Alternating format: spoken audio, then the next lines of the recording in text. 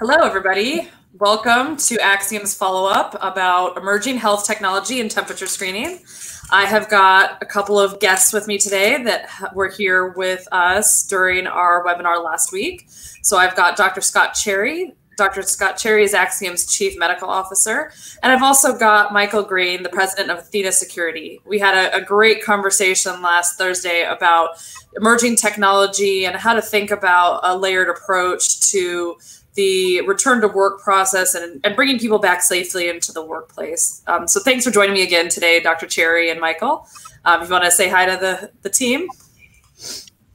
Yes, hi everyone. Thanks for joining us again today on health uh, information technology and how we address COVID. Yeah, great to be here from Austin, Texas, um, here in our headquarters. Um, happy that I'm invited back to share again. Well, thank you both. We had a few questions that we didn't get to last week on our webinar, so we're going to go ahead and get in and dig into that. Um, so first up, our first question that came in, I'm just going to pop that up here in a second. Question number one is from James. Are there CDC guidelines for on-site temperature screenings? Michael, you want to that? Uh, Michael, um, go first. Uh, sure. Yeah. Uh, happy to speak to that. So CDC has come out saying that uh, all, basically every single organization should be doing regular monitoring, and so employees should be doing um, their own initial self-monitoring, and it all should be under the supervision of their employer's occupational health program. So that's the guidance that the CDC has given and it's uh, intentionally vague, I think, so that every business uh, within different industries can interpret it uh, for their own vertical. Uh, so we have everything from food processors and food handlers, uh, and they are uh, following their own stricter set of guidelines, typically that their corporate that their corporate policy is coming out with, um, versus just the general vague guidelines.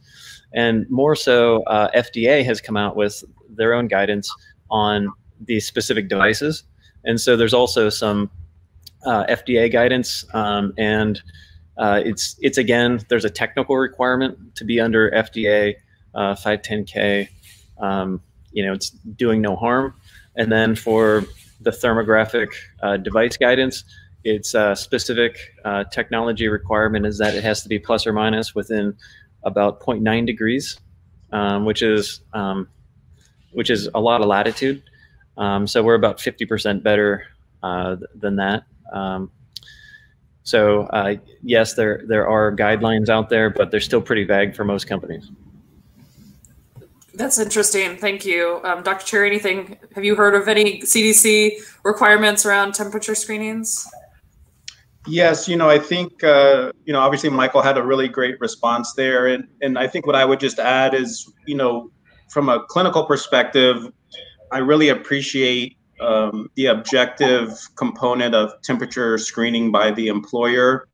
And so it, it, provides an objective piece of information that will be part of a layered approach to protect the workforce. And so, um, you know, very early on, we've been advising our clients to do temperature screens. And uh, it's really good to see a systematic approach that um, Athena offers to provide um, efficiency as well as uh, consistency and the and reliability and and, and the information being uh, screened. Okay, thank you, Dr. Cherry.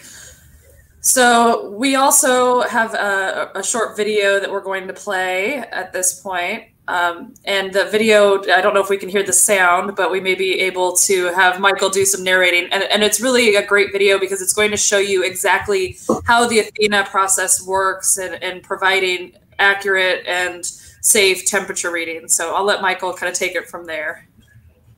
Sure. So this is John speaking at Memorial Hermann Hospital, headquartered in Houston. It's one of the largest uh, not-for-profit hospitals in the state of Texas.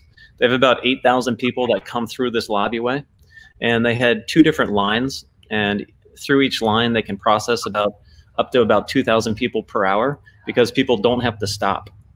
And so they're comparing this on screen right now with manual temperature taking and describing how we're saving them lots of money uh, because it's the efficiency, it's the time, uh, it moves a lot faster. Um, people don't have to stop as they go through. So this is for an initial triage of temperature taking. And so people, and that's actually me walking through.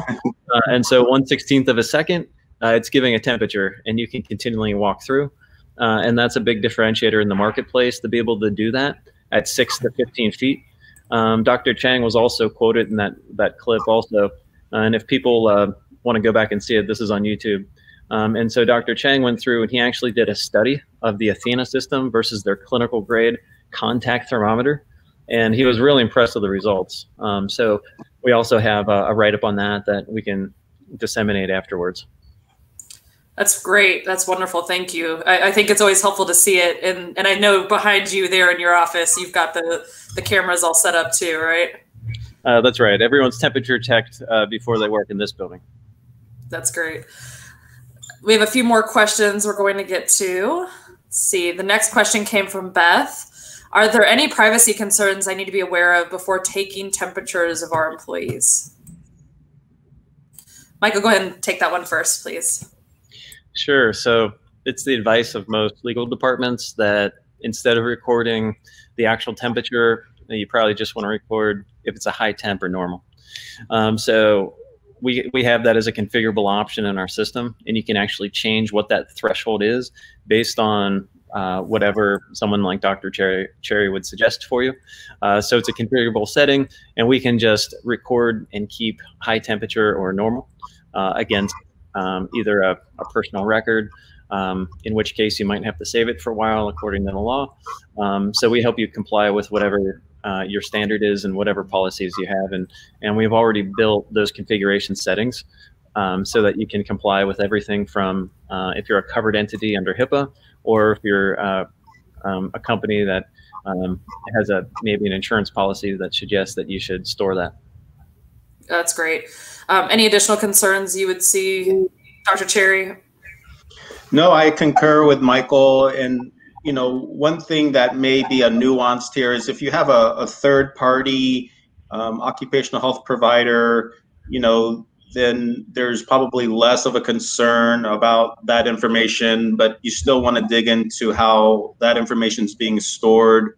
Always when employee health data is being transmitted back to a, an employer, um, the privacy rules do take effect. And um, a lot of times uh, there's this um, construct called minimum necessary information. So I agree with Michael that operationally you, you want um, the managers or those that are going to be um, managing who's going to be coming into work or screened out of work that they really kind of get a binary go no go type of um, piece of information and that the actual um, temperature or symptoms would be uh, much more uh, highly protected and, and, and, and, almost even partitioned off from the traditional business unit. That's a great point. Thank you, Dr. Cherry. Let's see, our next question. We've got Nathan. How reliable are services like Athena's temperature screening? Go ahead and take that one, Michael. Uh, sure. Um, so if I if I want to be a literalist and say how how reliable this is, um, it's incredibly reliable. Uh, we have the data that proves it. Uh, if you measure our, um, if, if, you want to chart this and use um, the standard deviation relative to the mean in terms of a statistical reliability, uh, it's been seen as very reliable. Um, so I, I, don't know if that's answering the question, but uh, that's the very, very literal um, interpretation, I guess. Um, but we, we would see this as very reliable. Um, we also like the fact that this is a structured approach. It should be a camera that's mounted like this one uh, behind me. Um, and so you're gonna, everyone who walks into your building, it's a structured approach that everyone is, is temperature screening as they walked in. Uh, so it doesn't miss anybody. Um, so everyone has to go through that temperature scan zone uh, to get into your building. Wonderful. You know, one one thing I would uh, add to it is, you know, I think the question was regarding technical reliability, which you can speak to, Michael.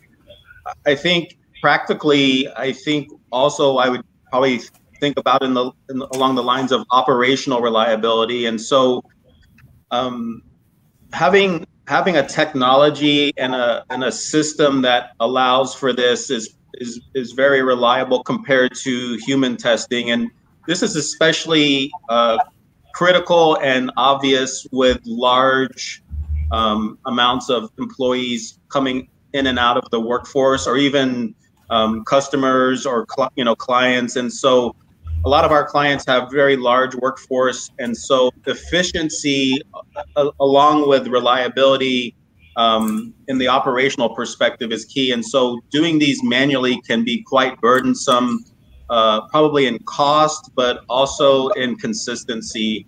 And so, I, I really love the approach of a, a systematic technological solution to temperature screening because it's it's every day um, you know for really the, the future yeah, and I'll just add on to that again. Uh, I've heard the word uh, just biosecurity, and this is part of the future where yeah. Uh, now this is scanning for, and, and sure, we're under a pandemic uh, with a specific uh, use case right now for that. However, this is also um, used for all general health, and I think we're in an era where it's just we don't we don't want to be seated next to anyone who's coughing, sneezing, has a temperature. Um, it's just a no tolerance era right now. And so this is a way to just help present um, lots of disease or infection uh, into the building. And even though we can't prevent it all, uh, this is a, a, step in the direction of uh, we're going to publicly uh, put this out as a systematic approach. It's part of that layered approach, uh, coupled with lots of other um, of your suggestions and the CDC's suggestions, so that we can just have a, a greater um, a greater comfort with everyone around us, as well as then it's just re-advertising the fact that there's a no tolerance policy for anyone who has symptoms. Those are really great points. Thank you both. I think we're at our last question. And the last question came from David. What are some alternatives to on-site temperature screenings that you've both seen? So I know that's the business you're in, Michael, but have you seen any alternatives to that besides the forehead temperatures? Yeah, and I guess there's uh, two main um, rather valid ways of going about that. So number one is uh, screen before you come to work. Uh, so just at home in the morning, um, oral thermometer in your mouth, and you record that. Um, and then the other valid way, um, you know, I even wear it's uh, it's an Oura ring. Um, and so there's different wearable technologies that don't do a, um, you know, aren't very accurate uh, in terms of temperature taking, but you wear it over time and it will spot the increase in temperature, spot the increase in relative temperature.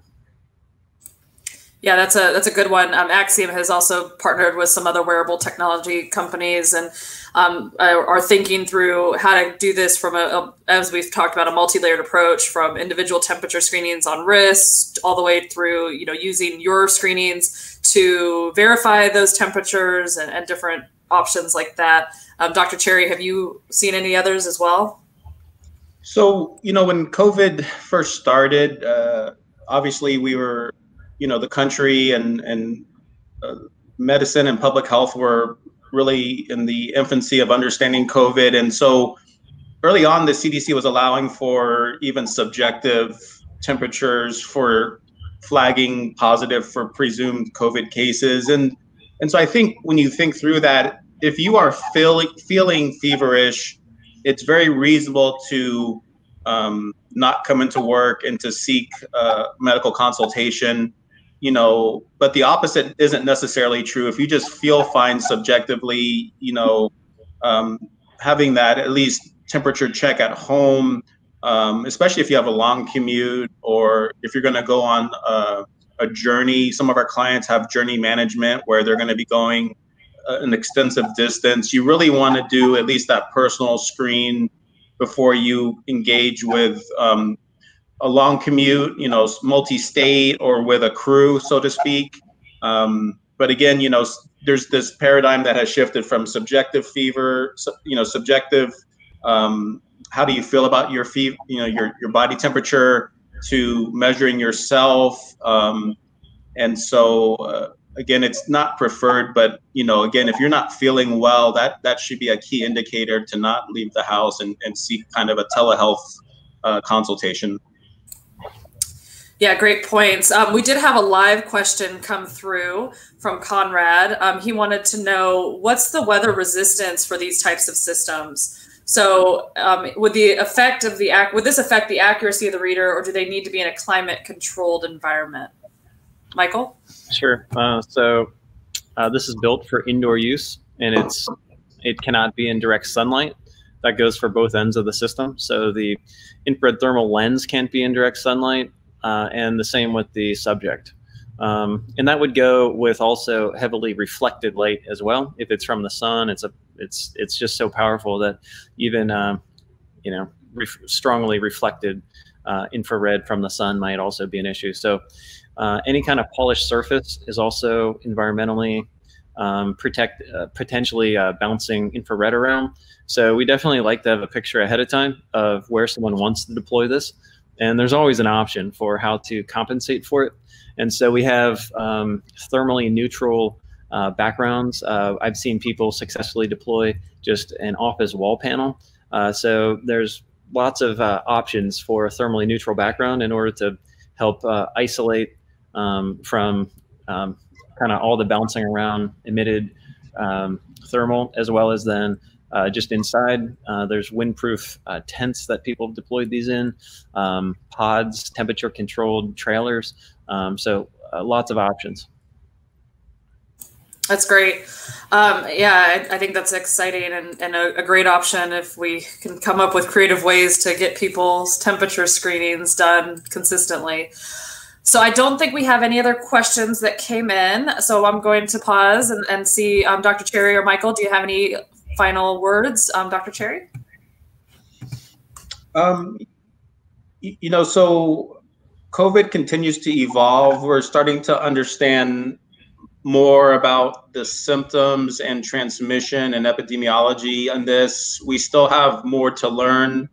And so I think one thing that has remained um, one of the foundational aspects of a COVID pre, uh, prevention program would be, you know, temperature screening. So you really want to start considering that as part of your, um, uh, uh, what did the CDC recently talk about? It's uh, they they were recommending, you know, companies now start looking at having a. Um, uh, Darren, you may need to help me with this. It's a respiratory disease exposure control plan. I think that's the acronym or the, the phrase. But you know, having a, a temperature screening strategy has been something that's been consistent across um, as we learn more about COVID and how to prevent it. So I will just close on that.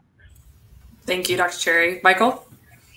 Sure. Um, until there's uh, a more effective uh, treatment for the disease, um, keeping keeping and being able to isolate people and being able to trace individuals who are symptomatic remains an important cornerstone of reducing um, and reducing the effects of the pandemic, um, which are drastically affecting our country in really huge economic ways, um, which is rippling into people's mental health um, and all kinds of um, uh, other uh, unintended consequences of quarantine.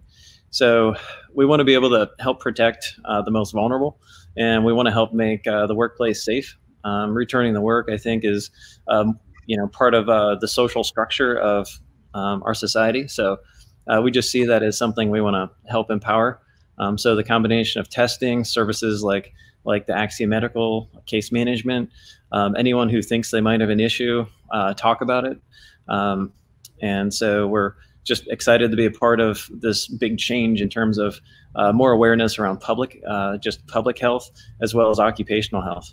And so we're, yeah, happy to happy to be working with you guys. Wonderful. We're excited about it too, and we'll start having some really exciting white papers and news to share as we go through this um, and, and proof prove out all of what we're saying here. I think it's a, it's an exciting time, and we will continue to have these great conversations. So thank you both for joining me. Um, and I did want to mention our next webinar on next Thursday on the 16th. I'm sorry. Um, yeah, on July 16th, we will be doing a population health management webinar with Dr. Peter Matos and Dr. Cherry. So it'll be a, a really great one. So please join us again um, next week. If you ever have questions, just let us know. You can always reach out to us on at coronavirus at axiomllc.com and we will answer your questions in our next webinar. Thank you all. Thanks, Dara. Thanks, Dr. Cherry. Have a great day.